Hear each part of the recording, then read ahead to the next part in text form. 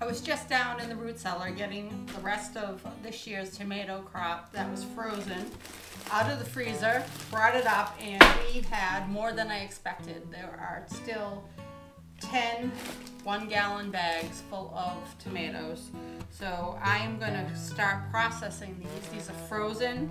I have um, already done a video on processing and harvesting for the winter in that you'll see this whole process of how to defrost and take off all the liquid so you're not boiling tomatoes for hours.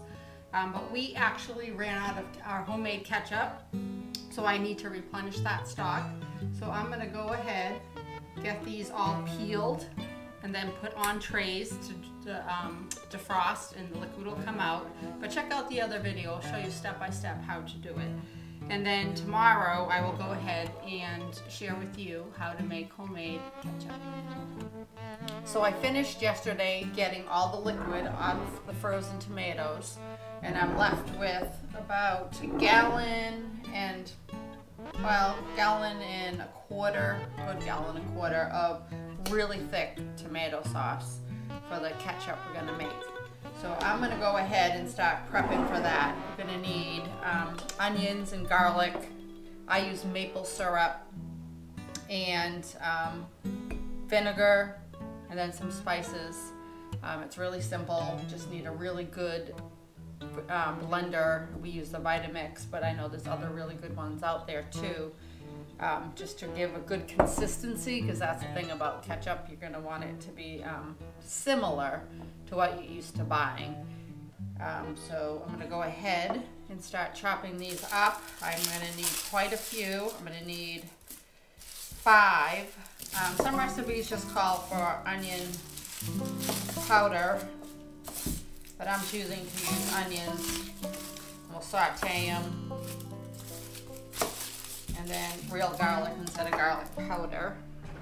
We have plenty of both, so I prefer the nutrition from them. So I have an estimate that I should get around eight um, pints of the ketchup, which I started, um, actually I'm gonna restart the water.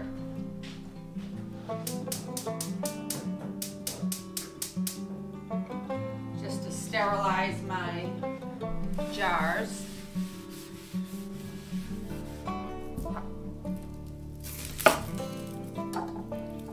Because this is something I am gonna water bath can so I can put them in my cabinet when we're done. You could also freeze it if you have lots of freezer space. So these can be roughly chopped because we're gonna end up blending it. You're just gonna get it on stove and cook it till it's translucent along with the garlic. And then we'll blend it with the tomatoes.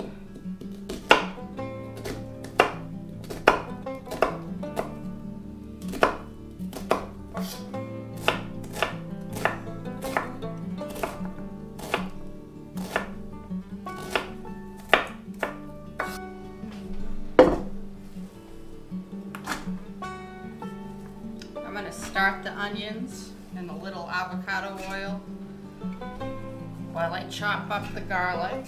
I prefer the garlic not to be cooked as long. So one reason we decided to make our own ketchup, as you can see, it's a lengthy enough process. It's not necessarily super simple. Um, it's definitely cheaper to make. Um, depending on the type of ketchup you buy. So for us, we make our own because we want to control the ingredients that go into our ketchup. And if we're not making it, which is really new to us actually this year, we have been buying um, Primal Kitchen ketchup, which is unsweetened, um, organic and unsweetened. And this bottle for 11 ounces is, um, so let's see, I'm gonna compare. So it's definitely smaller. Um, so this is, let's see, 16 ounces. This is 11 ounces. So this bottle here is $6, which is a lot for ketchup.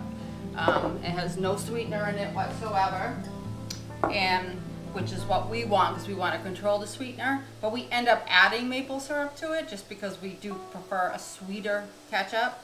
Um, so for me, this is a no-brainer. I had produced more tomatoes than really we could eat. I can put them in the freezer, take it out when I'm ready to do this, and um, eventually we'll produce our own maple syrup as well. That we're going to have some videos on that this winter. Um, right now we're purchasing it from the co-op, but once really get the tomatoes and the syrup, there's really no cost. Vinegar, spices, relatively inexpensive, but six to six fifty a bottle for a small amount of ketchup is um, very expensive. So for us, it's worth the time and effort um, to go ahead and do it ourselves. Now, if I was buying a different type, which I certainly have in the past, um, you know, there's plenty good organic ketchups that have um, sugar and no um, corn syrup in it. You can do that route too. That's much more economical. Um, but for us, we prefer the maple syrup that just works better for our bodies. So we, um, you know, either do the primal, which again feels very expensive to me, or we can make it ourselves with the abundance of tomatoes that we grow. I'm gonna go ahead and mix up these onions. I can hear them sizzling. And I'll prep up these garlic pieces. Again, it can be rough chopped because we're gonna puree everything in the blender.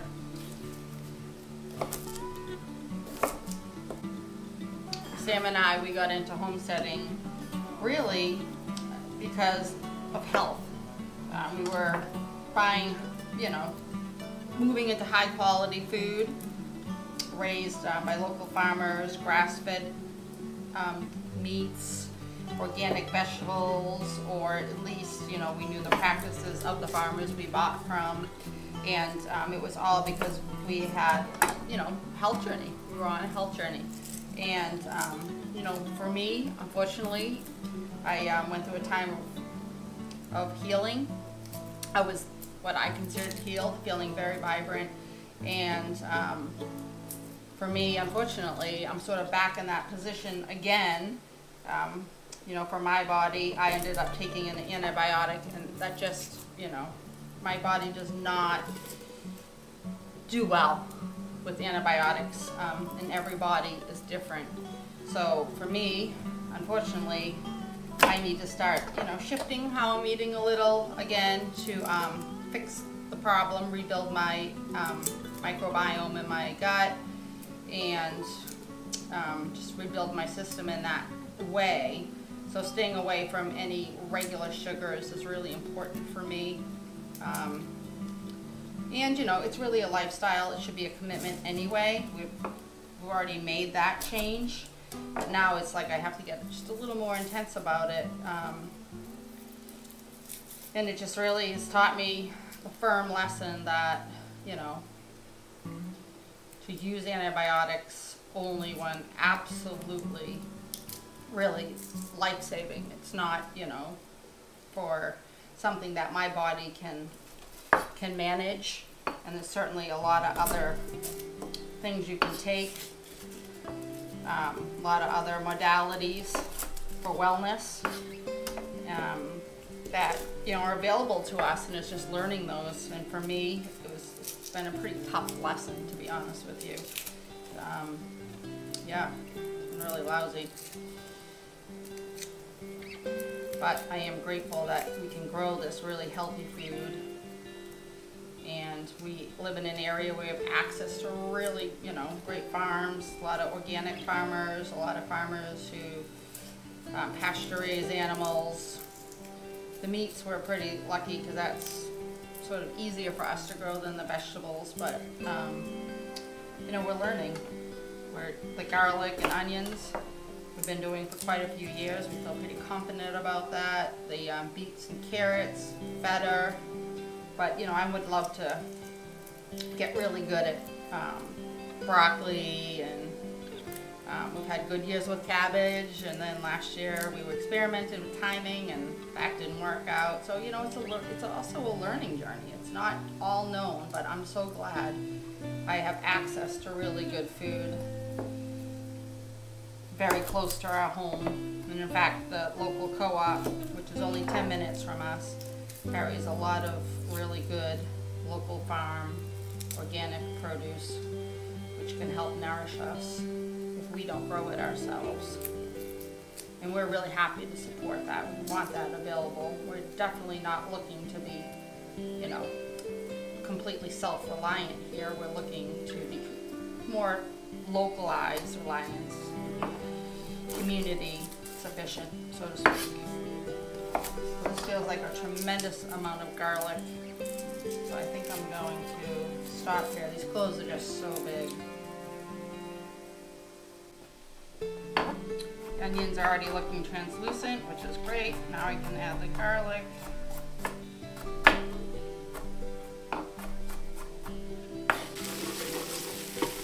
So the onions are translucent. Can really smell the garlic, smells great. So I'm gonna go ahead and add the tomato puree.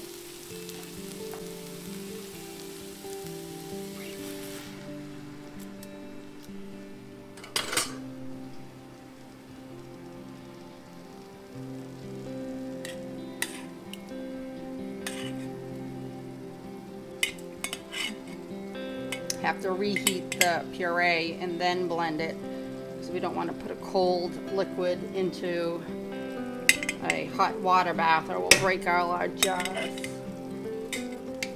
See how crazy thick this is.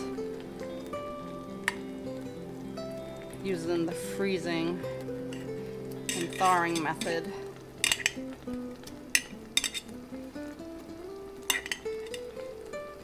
It's pretty much like a paste really, which is perfect for ketchup. So um, this will take a bit to get back up to temperature just because these were tomatoes from the fridge. we'll let everything get up to temperature and then blend the onion and garlic in with the tomatoes can get it even thinner. Then we'll add the spices. I'm gonna just cover it so if it starts boiling, there's not splatter of tomato all over my kitchen. I'm gonna go ahead and add my vinegar now because it's trying to boil, but it truly is like lava. It's so thick. This will help loosen it up, and then I'll add the maple syrup.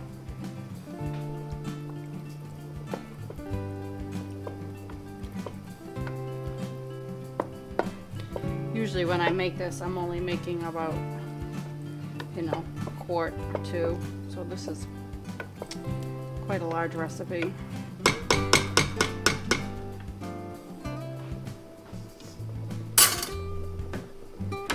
Now for the maple, it's three cups, it's quite a bit. However, it's a condiment, using small amounts. We'll go gather the spices and we'll add that before we blend it.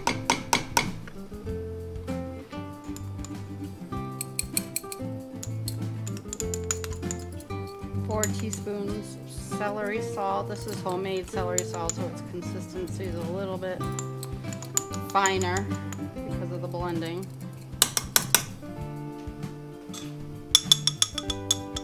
Four teaspoons of mustard powder.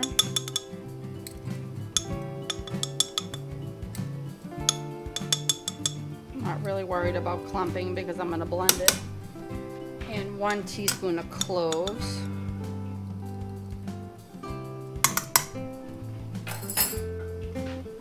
Pepper.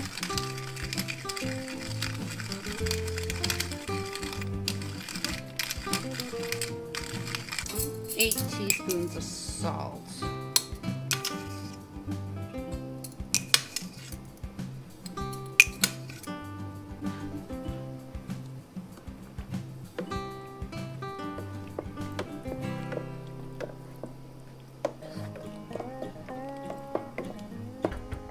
The ketchup came up to a boil. Now I'm going to go ahead and just ladle some into the, my Vitamix.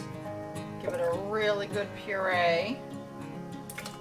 We'll take quite a few batches based on the amount I have here. I like the consistency though. You can add thickeners if you need to. The beauty of the defrosting the frozen tomatoes and pouring off the liquid is that I have a good chance that I may not need to add any thickeners.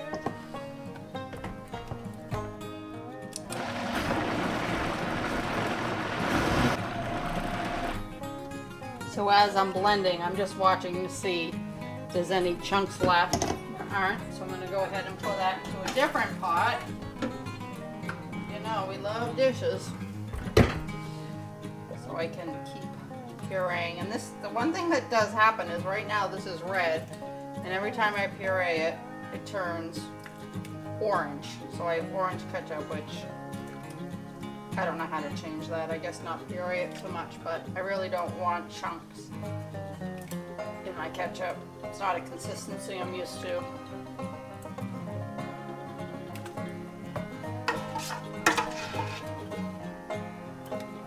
Be able to add the rest of this one.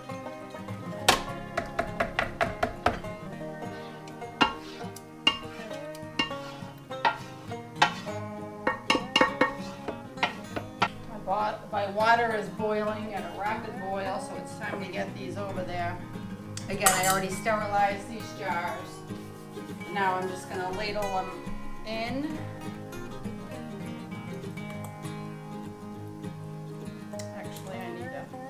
Caps warmed up.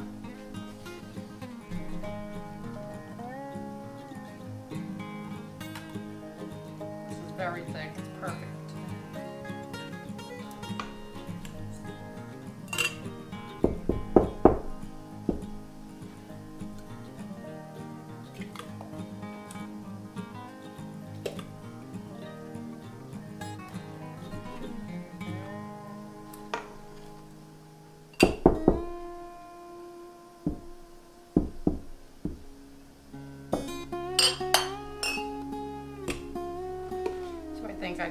underestimated the amount of pints I would need.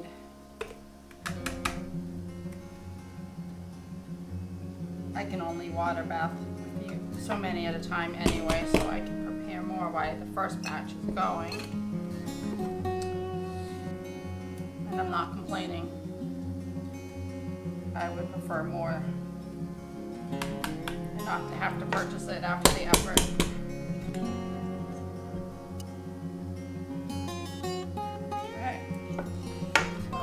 Probably need three to four more jars. Just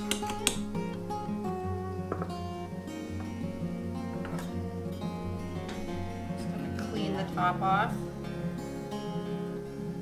Just warm water. Some people use vinegar.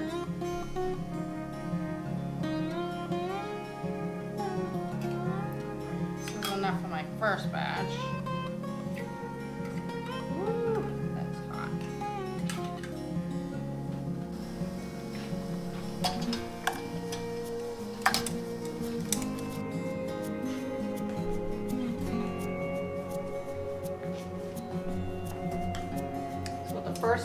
Out and I'm gonna get the second one right in the boiling water.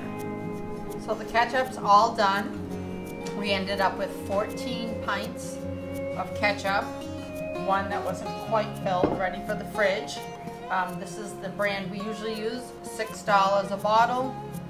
We add our own uh, maple syrup to it just to sweeten it a little because it's unsweetened. So we figured this is about $125 worth of ketchup. We're not, again, doing this, you know, for economic reasons per se, though it does feel a bit rewarding when you're spending $6 for a small bottle of ketchup. This really is about health and knowing what's in our food, and it's part of our health journey. We appreciate you joining us and hope to see you on the next one.